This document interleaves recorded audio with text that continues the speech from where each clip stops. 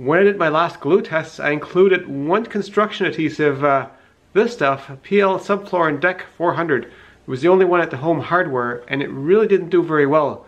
So I thought maybe I should try some other construction adhesives to see how they do.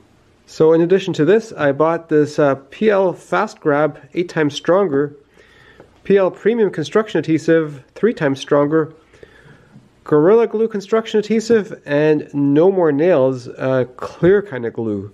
And in terms of applying it, the uh, PL subfloor and deck adhesive is just awful. It just pulls and whatnot. The uh, PL Premium 3 times stronger goes on fairly smooth, so not too bad.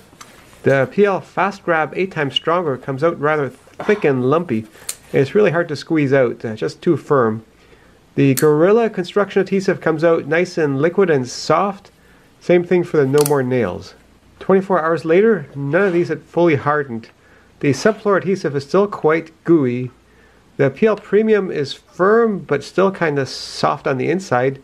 Same for the PL Fast Grab 8X.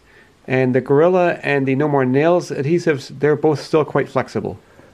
And I cut off any remains of glue from my old test samples and planed them flat and sanded the bits that I glued on there so I have all new surfaces on the exact same pieces of wood that I used last time. Then gluing the pieces together, both hardwood and softwood, and trying to randomize the order as much as possible to not bias things. And now, two weeks later, I assume everything is fully cured. This is the uh, PL400, and it's not quite hard, but it's definitely firm.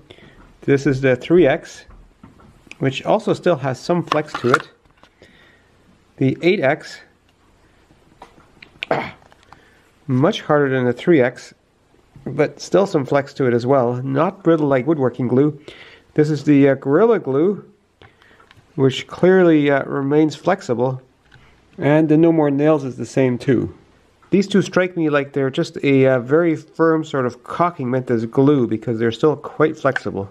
So I've got over 80 glue samples, softwood and hardwood. Now it's time to break them again. And breaking the samples. I sorted these clips by glue type and first up is Gorilla Construction Adhesive. So this glue being still fairly soft is yielding a bit without snapping. But now the force is decreasing. And the rest of the Gorilla Construction Adhesive samples failed the same way. No matter what the wood type, always a very slow kind of failure, never snapping apart.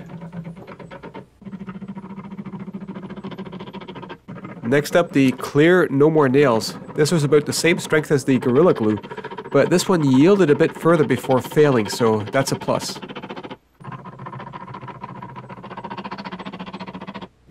Next up, the uh, PL Subfloor and Deck 400. This one was more of a brittle failure, and it was about one and a half times stronger than the Gorilla and the No More Nails glue.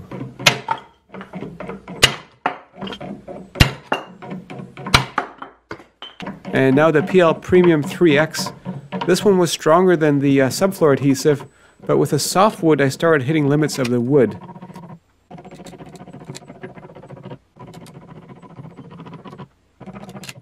Once I tested the hardwood, uh, the tests averaged about twice as strong as for the subfloor adhesive. Next, the uh, PL Fast Grab, 8 times stronger. Uh, this was significantly stronger than the PL Premium, and for the softwoods it usually took a chunk out of the wood, so it was mostly a wood failure. For the hardwoods, it was significantly stronger, so it's uh, quite a strong glue, but it's just really awful to apply, so I wouldn't really recommend that glue.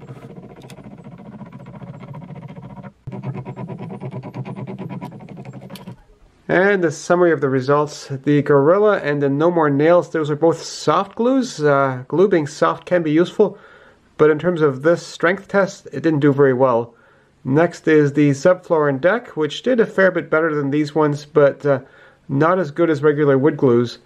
The PL Premium, three times stronger, that is comparable to a typical yellow glue. And then the PL 8X, which is just awful to apply because it's so thick and chunky, um, with the hardwood, that's quite comparable to some of the best wood glues like Type Titebond 3 or Gorilla Wood Glue. I also retested a few samples of regular wood glues just because I had a few samples left over, plus the DeWalt hot glue, although that didn't do very well. So in summary, if you keep your workshop at sub-zero temperatures where you can't use regular wood glues, construction adhesive can be used because it works at low temperatures. And if you do use construction adhesive, this stuff is probably the best to use, the uh, PL Premium, quote, three times stronger, unquote. Um, it's comparable to yellow glues in strength, and it's not too awful to apply. Uh, this stuff is comparable to the strongest wood glues, but uh, it comes out of the tube almost like poop. It's just really thick and chunky, although if I was fixing some old chair where I had a super loose joint, this might be the stuff to use. Yeah, it's awful, but if you've got a big gap to fill, it's probably pretty good to use this stuff.